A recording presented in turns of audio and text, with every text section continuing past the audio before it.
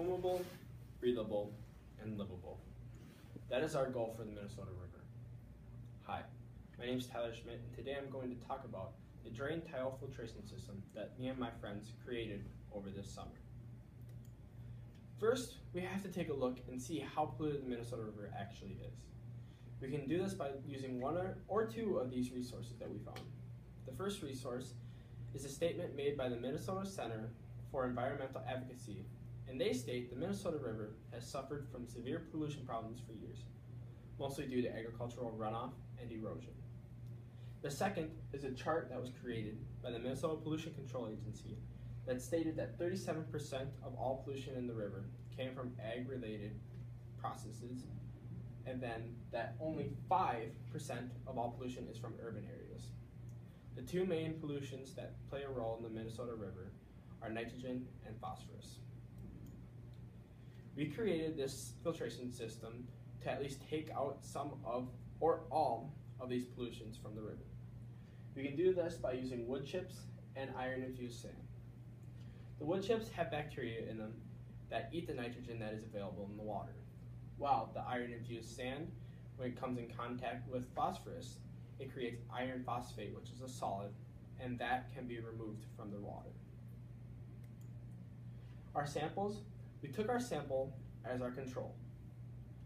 We also took water from Tice Homestead, and we called that Tice 1. We also took water from Union Hill Field, which we called Tice 2.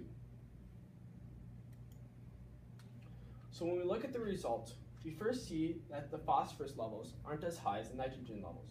And that is because phosphorus is a compound that stays on the top of the soil, while nitrogen actually goes into the soil, and then that can be taken out at greater rates through drain tiles. When we look at the nitrogen though, we can realize that our filtration system is actually really effective. Because from Tice Field 1, we started off with 34.8 milligrams per liter and went to 0.13 milligrams per liter. And that Tice 2, Tice Field 2 went from 25.6 milligrams per liter all the way down to 8.97 milligrams per liter. Now, both of these two are underneath the Minnesota Safe Drinking Water Standard, which is 10 milligrams per liter. Other components that play a role into river quality is buffer strips and chemical applications. Buffer strips is a piece of land that is between a crop field and any open water, whether it be a ditch, lake, stream, pond, or river. Chemical applications, if we can regulate and see how much applications of chemicals we have, we can help make the river better by using less.